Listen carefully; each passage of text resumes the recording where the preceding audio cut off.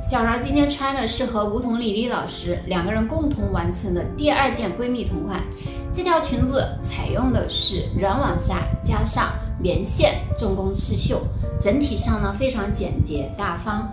最开始的时候，我们准备去设计一款非常夸张的宫廷袖，但是最终呢，我们两人还是做了一个无袖的，觉得这个方领配上无袖更加的简洁大方，也比较的随意。这件衣服呢，我们是有做胸省的，因为它比较贴身。整体的尺寸是什么样子的？我们先给大家介绍一下。首先，这个肩宽。是在正常肩宽三十八厘米的基础上，是减了一个三厘米胸围量，在八四净胸围的基础上，加了六厘米的放松量。裙子的长度一共是一百零六厘米。那么我们现在开始打扮。首先做一条长方形，长度为裙子的长度一百零六厘米，宽度为二分之胸围四十五厘米。按照后片二十二厘米、前片二十三厘米画好分割线，上平线向下二十五厘米打好胸围线，向下四十厘米打好腰围线。后片比前片下落一厘米。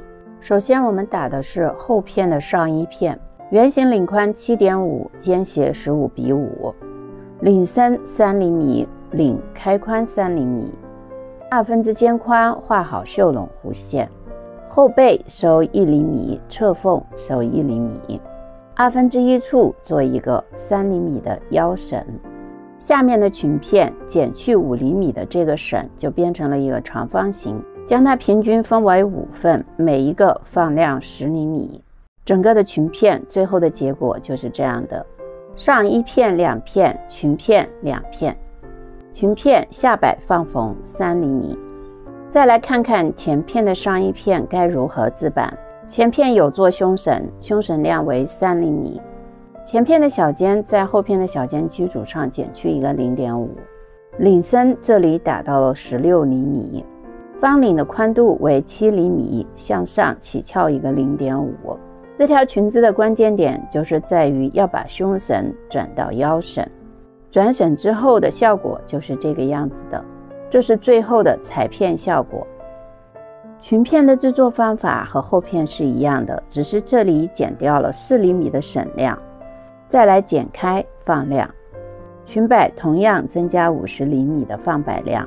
下一期小勺将用天丝苎麻仿制梧桐里里的这件小上衣。今天的分享就到这里，强按点赞，感恩大家。